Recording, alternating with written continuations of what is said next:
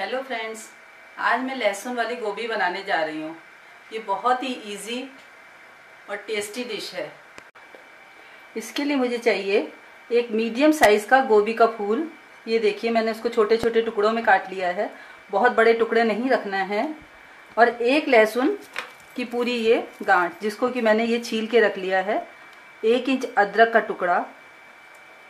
ये 20-25 कली लहसुन होगा। इसमें लहसुन अच्छी मात्रा में डलता है। थोड़ी सी मोटी कुटी हुई काली मिर्च और ये लहसुन वाला नमक, गार्लिक साल्ट है मेरे पास और ये हरा धनिया और नींबू गार्निशिंग के लिए और ये ऑलिव ऑयल में बनाऊँगी मैं। ये स्टार्ट करते हैं। ये मैंने कढ़ाई रख दी है। अब इसमें मैं थोड़ा सा तेल डालूँगी, ज़्यादा नहीं डालना है। बस ये एक चम्मच तेल होगा। थोड़ा सा और डाल देते हैं। इसमें मैं, हम गोभी को डालेंगे। ये गरम हो जाए थोड़ा। देखिए, गरम हो गया है।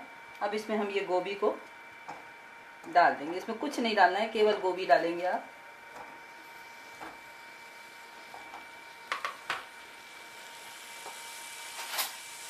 और ये नमक, ये गार्लिक साल्ट हम इसमें थोड़ा सा अपने अपने हिसाब से आप डाल लें। गार्लिक साल्ट नहीं है तो आप नॉर्मल साल्ट साल्ट डाल लें, ऐसा कुछ नहीं है।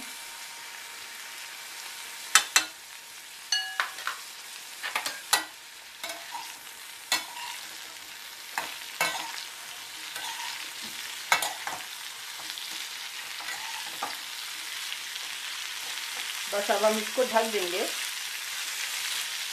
इसको ढक के हम थोड़ा सा गलने तक पकाएँगे। इसको बहुत ज़्यादा नहीं गलाना, गोभी खड़ी खड़ी रहे और गल भी जाए। ये देखिए। गोभी खड़ी खड़ी है और एकदम गल चुकी है। इसको हम निकाल लेते हैं, गैस बंद कर देते हैं। और इसको हम एक बर्तन में निकाल लेंगे।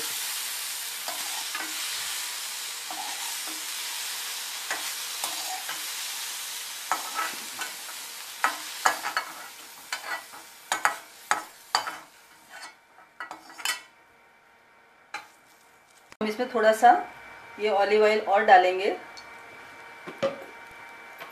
ये जो लहसुन और अदरक मैंने लिया था, इसको मैंने कूट लिया है। इसको बारीक नहीं पीसना है, या तो कद्दूकस कर लें, या कूट लें। इसका फ्लेवर कूटने से ही बढ़िया आता है।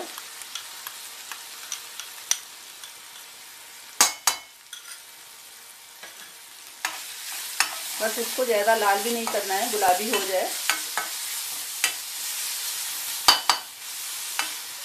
ये देखिए, लहसुन और अदरक भून चुका है। गुलाबी हो गया, बहुत ज़्यादा लाल नहीं करना है। इसमें अदरक होती है तो ये कढ़ाई में चिपकती बहुत है। अब हम इसमें ये गोभी डाल देंगे। नमक हम पहले ही डाल चुके हैं। इसको अच्छे से मिक्स कर लेंगे।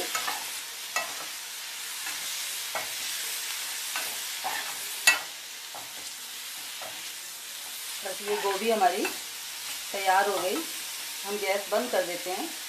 अब हम इसमें ये मोटी कुटी हुई काली मिर्च डालेंगे। काली मिर्च मोटी कुटी हुई डालना है, बहुत बारीक नहीं डालना है।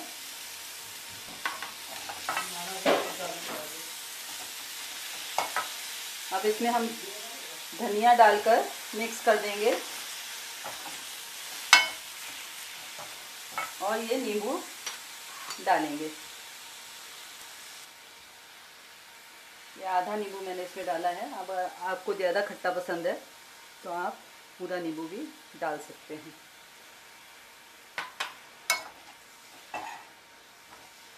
इसको अच्छे से मिला लें और अब मैं इसको सर्व करती हूँ।